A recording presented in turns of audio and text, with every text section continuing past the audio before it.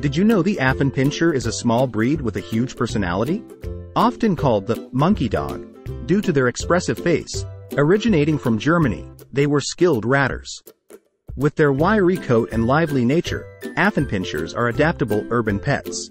If you're seeking a distinctive and delightful furry friend, the Affenpinscher could be the ideal addition to your life. Subscribe for more breed facts.